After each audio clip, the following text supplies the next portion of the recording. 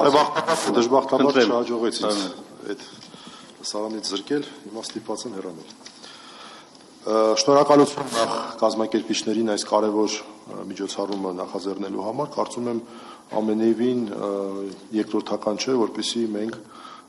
ժամանակ առ ժամանակ կարողանանք մտքերի փոխանակում իրականացնել եւ փորձել հասկանալ թե ներկա իրավիճակի իրողությունները, թե դրանց զարգացման հերանեկարները։ Պարոն Մինասյանի հետ մենք նախապես քննարկել էինք այս զեկույցի բովանդակությունը, կարծում եմ կարևոր է մենք բոլորս թարմացնենք մեր հիշողությունները, թե ինչպես ստացվեց, որ ներկայումս մենք այնքան երկրորդական ենք նայում այդ հարցերին, այդ համանդրական ինստիտուտների ձևափոխմանը, այն տեսանկյունից, որ մենք արդեն ինչ որ առումով երկե ոչ մենք, բայց շատերը համակերպվել են նրա հետ, որ գործ ունենք իշխանությունների կողմից համանդրական ամենակարևոր արժեքների ոտնահարման հետ եւ պետք է խոսել սրա մասին եւ չհաշտվել սրա հետ, որովհետեւ ես վստահ եմ, որը գալու է դրա վերաբերալ տրվելու են շատ կոնկրետ հարցեր, շատ կոնկրետ տեղերում եւ քանի որ զարգացումները այս ոլորտում կտրուկ չեն, երբեմն մենք մոռանում ենք դինամիկան։ Ես կփորձեմ նաեւ դինամիկան ներկայացնել։ Առհասարակ համանդրական իրավունքում եւ դրան համարժեք քաղաքագիտական կատեգորիաներում մենք գործ ունենք մի երևույթի հետ, որը երևի 16-17-րդ դարից սկսեց զարգանալ, որ քաղաքական իշխանությանը զուգահեռ գոյություն ունի նաև ապաքաղաքական, արտաքաղաքական իշխանություն, այն ժամանակ դա միայն դատական իշխանությունն էր, որը իրականացնում է վերահսկողական գործառույթ եւ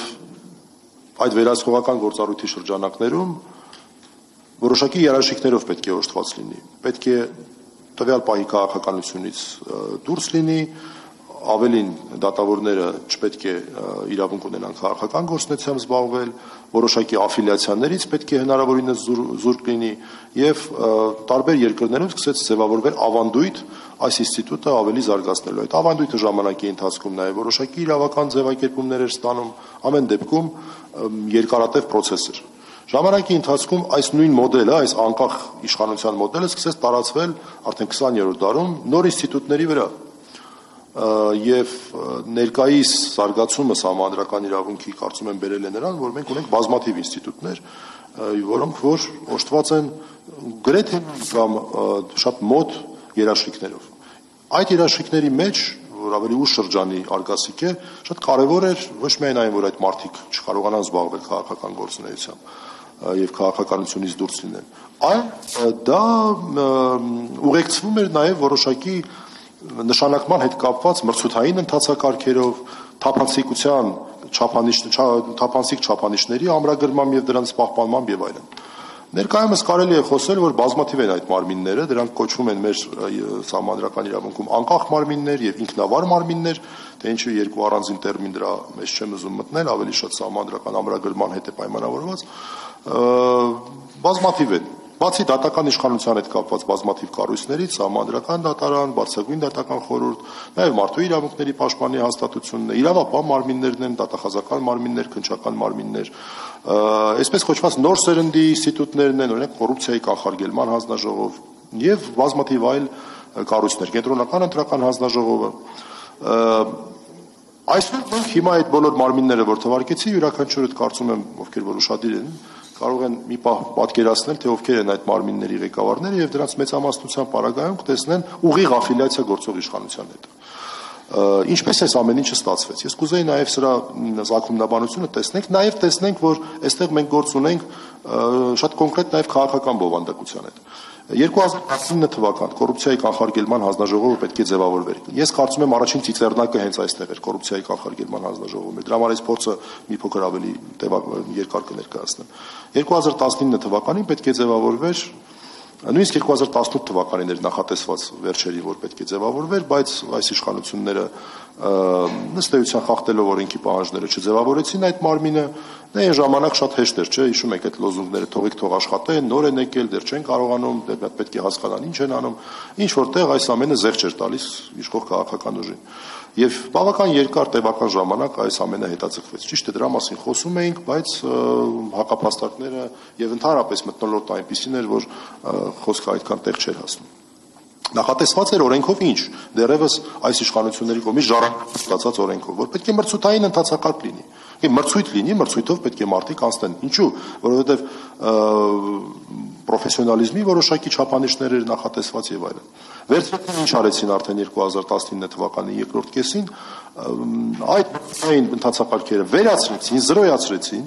դրա փոխարեն նախատեսեցին հիմնականում քաղաքական ուժերից նշանակումներ, հիմնականում իսկ այն ժամանակվա քաղաքական ուժերը հիմա եթե 2022 թվականից ենք նայում շատ դժվար է դրանց մի մասին, համենայն դեպս ակնհայտորեն մի մասին, հիմա արդեն հասկանալի է, որ նրանք ամենևին ընդդիմություն չէին, այլ ընդդիմություն էին աշխատում։ Օրինակ Լուսավոր Հայաստան կուսակցությունը, որը ներկայացնում էր իր տեխնացուին, մյուս ընդդիմադիր կուսակցությունը իրենց տեխնացուին, քաղաքացիական պայմանագիրը, կառավարությունը իրենց տեխնացուին 5 անդամից։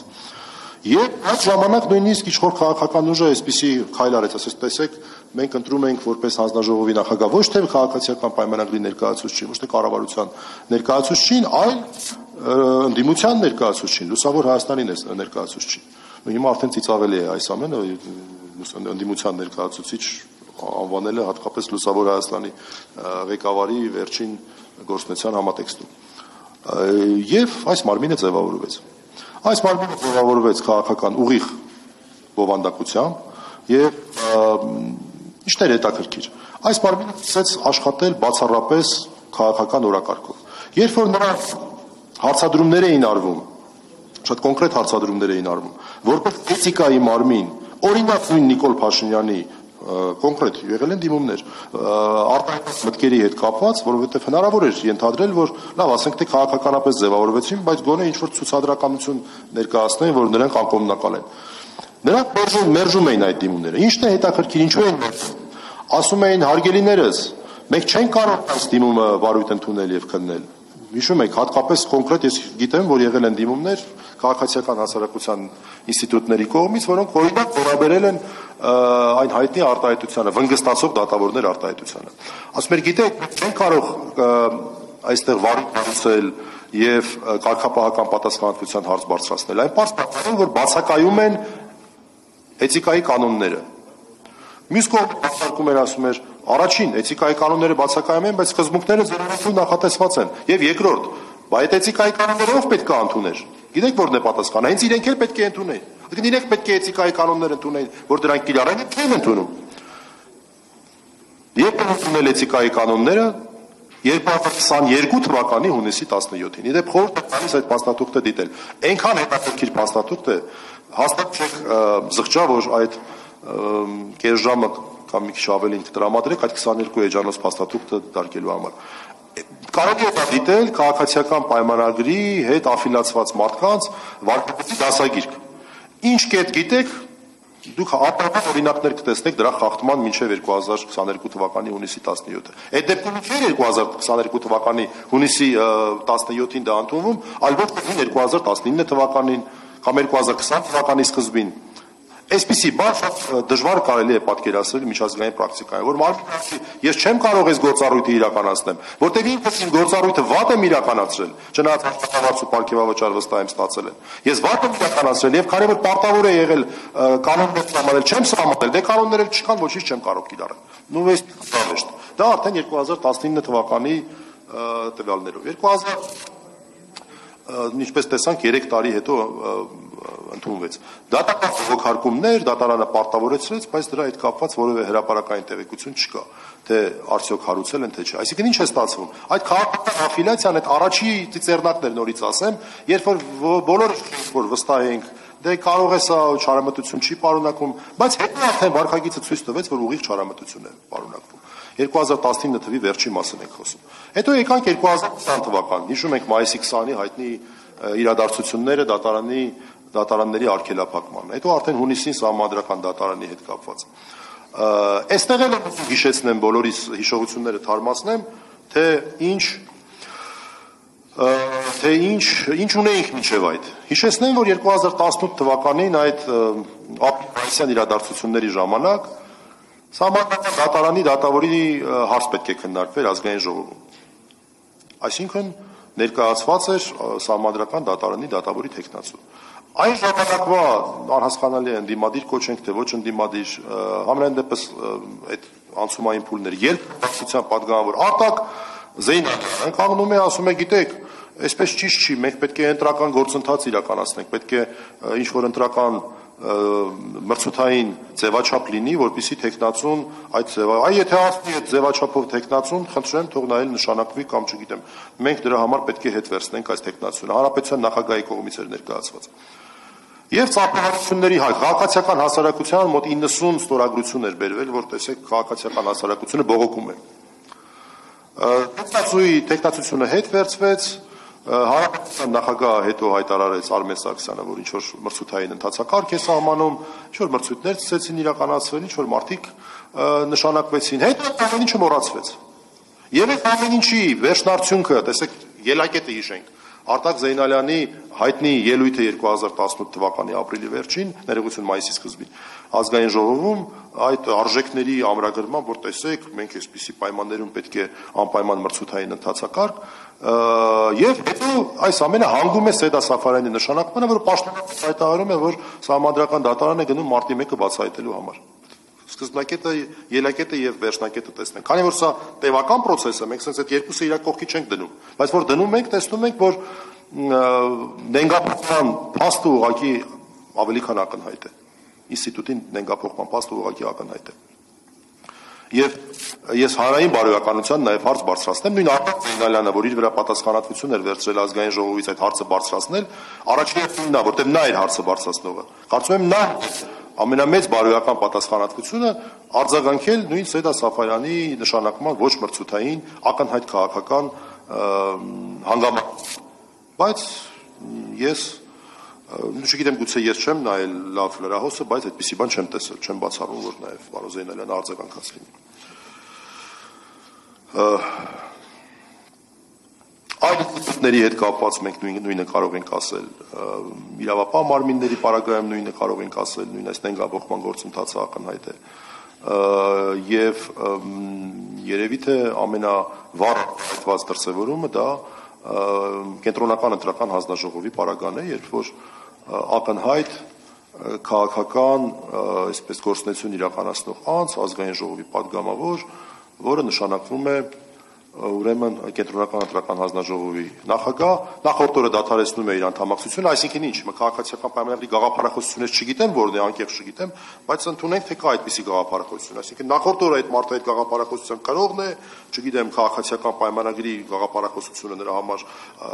կարևոր, այսպես առաջնահերթություն է, մեկ էլ գիշերը քնում զարթնում, հաջորդ օրը դե չէ, այդ գաղափարախոսությունը կողք ենք թողնում, ես գնում եմ կենտրոնական ընտրական հանձնաժողով ճիշտ չէ։ Հա, տիկին Պոստանջանը գիտեք, Facebook-ում այդպեսի բան կա, չէ՞, մարդիկ կան ինչ-որ բան են գրում, տակը լայքում են իրենց, դե հիմա այդ մարդն այդ նույն մշակույթի կրող է, նորմալ է։ Սա նույնպես այս ուրեմն մոտեցման արտահայտությունն է, բայց պետք է նշենք, որ հա, բարձրագույն դատական խորհրդի մասին չնշենք, Արեն Անդրեասյանի Վարենապետյանն էլ փաստորեն էլի կուսակցության անդամ էր, կարծեմ կենտրոն տարածքային ստորաբաժանման ղեկավար էր, էլի մի օրվա մեջ որոշեց երևի թե որ այլևս այդ գաղափարակցության կրող եւ իր հետ նաեւ Վարսագույն դատական խորհուրդ գործողվեց իր տեղակալ հարգելի Տիկին Թումանյանցը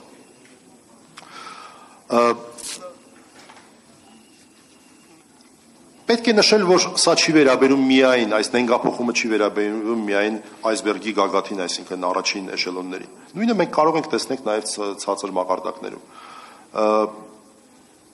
Չկա այդ ռեսուրսը եւ չի եղել այդ հետազոտությունը, որ օրինակ դատավորի տեխնացուների, այսպես կենսագրությունները մանրամասն ուսումնասիրվեն, այդպիսի տենդենսներ բացահայտվեն, բայց մի փաստ կարող եմ ասել, որ ակնհայտ փաստ էր, այդ նույն քաղաքացիությունը ունեցող օրինակ առնվազն մեկ դատավոր մեկ տեսնում եք։ Նման բան ես օրինակ չեմ հիշում նախորդ շրջանում, որ կուսակցության անդամը դառնար դատավոր, խոսքը չի վերաբերում բարձրագույն էշելոններին։